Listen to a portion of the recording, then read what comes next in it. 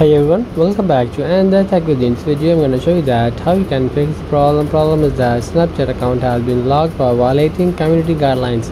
So you maybe violate any community guidelines so your account gonna block. So you want to open the account so you have to follow some steps to fix that issue of your you are facing right now. So simply just go back to settings and you have to make sure that we have a strong Wi-Fi connection. Also make sure that VPN is not connected.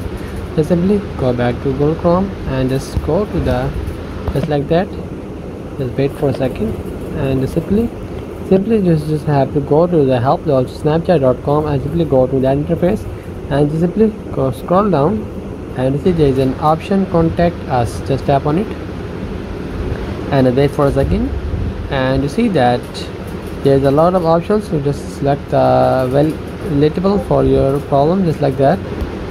Just like that i want i cannot access my account so you do not access to your account just tap on it and say that my device is banned temporarily disabled. Maybe your account is locked. So you have to simply tell on my account is locked. Just tap on it and scroll down and just go to the section where you can go to the login.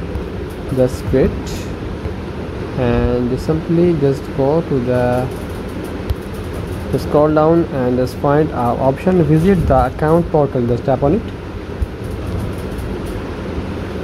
Now you just simply type the username of your account and just simply log in here and just complain about your problem. Just you violating any community guidelines so kind of again you cannot violate any community guidelines just like that. You may see that the request option after you finish signing on your account in snapchat. So that's the video.